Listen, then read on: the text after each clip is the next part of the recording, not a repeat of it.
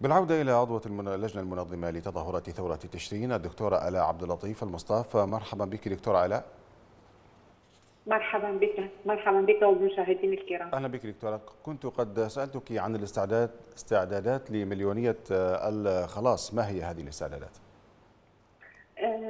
نعم منذ ما يزيد عن الشهر بعد أن اتخذ الثوار طوعيا الاعتصام شكل الاعتصامات بدلا عن التظاهر في بسبب اجتياح الوباء لمناطق العراق وخوفا على المجتمع العراقي من تسرب هذا الوباء بين فئاته.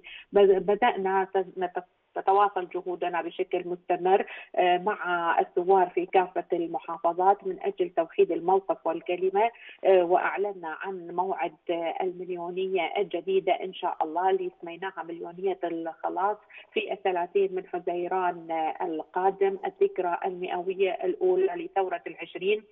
التي انطلقت ضد الاحتلال البريطاني آنذاك والتي اتسمت بكونها ثورة عراقية خالصة اجتاحت العراق من شماله إلى جنوبه.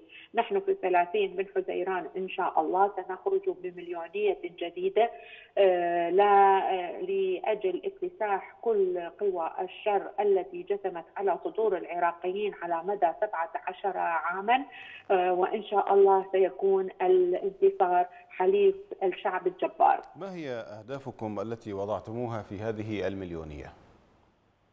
الأهداف واضحة وكما قلناها سابقا إسقاط العملية السياسية برمتها. لا وجود لمحتل على أرض العراق مهما كان شكله ومهما كان انحداره. لا وجود لميليشيات لا وجود لسلاح ممتلك أبدا. هذا الشعب لا يحكمه إلا أبناء الشعب العراقي وفاء لكل الدماء التي سالت على أرضه. هل في مخطط اللجنة المنظمة لتظاهرات ثورة تشرين الدخول إلى المنطقة الخضراء؟ يعني موضوع الدخول إلى المنطقة الخضراء نحن كما قلنا إنه هو إسقاط العملية السياسية وإذا كانت المنطقة الخضراء تمثل المكان الوحيد الذي يعتصم به هؤلاء القتلة والمجرمين للشعب العراقي. فصراحة نحن منذ أكثر من شهر نحاول تهدئة الجماهير وتهدئة الشباب إنه آه يعني خلينا نفكر بهدوء أكثر لأن خوفا على حياتكم الكل. عازمين على الوصول إلى المنطقة الخضراء لإسقاط هذه الطغمه. طيب دكتور آلاء في بياناتكم تقولون دائما أن لحظة الزخم وساعة الصفر لم تحن بعد ما هي المؤشرات التي تدل على أن ساعة الصفر قد حانت؟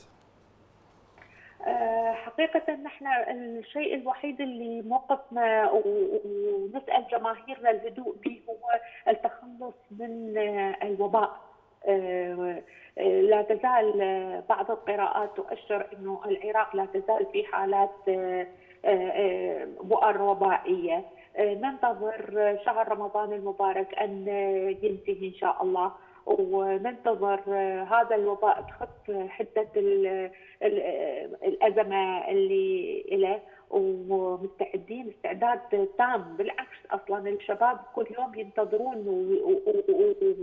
ونلاقي تواصل من قبل شباب العراقيين إنه لماذا أجلتوها إلى يوم 30 يوم 30 بعيد مستعدين قبلها لكن إحنا انتهزنا فرصة إنه هذه ال 30 فسيحان هي الذكرى المئوية للثورة العراقية الكبرى ثورة العشرين اللي أنهت الاستعمار وأسست للدولة العراقية الحديثة.